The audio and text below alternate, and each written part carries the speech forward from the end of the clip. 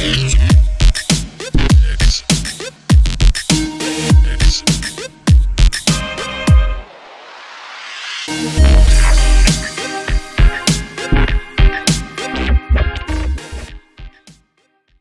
is up? This is Joshua Casper. Welcome to another uh, Ableton Live very quick tip. I just installed this VST by Arturia, this brass VST. I was looking, I'm making a remix, and I heard this was uh, pretty dope, pretty realistic sounding brass uh, VST.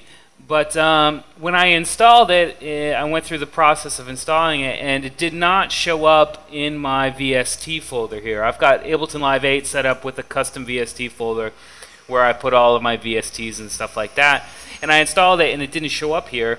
And I thought maybe someone else might have that same problem. So um, what I did to get it to show up was um, I came into preferences. I hit rescan, but nothing happened. It still didn't show up. So what I did was turn the custom VST plugin folder here option, I turned that off and then turned it back on. And when you do that, it rescans for Rizzle. Uh, if you hit rescan, it apparently doesn't rescan everything. But if you hit uh, this folder option on and then off, it really rescans everything. I did that and uh, the VST showed back up. So if uh, you've installed everything and you've went through the uh, activation process and it's still not showing up, before you go crazy and go contacting the, uh, the provider and flipping out, go ahead and try that that trick real quick, and hopefully that will help you out. But anyway, I hope that helps some of you guys. Talk to you later.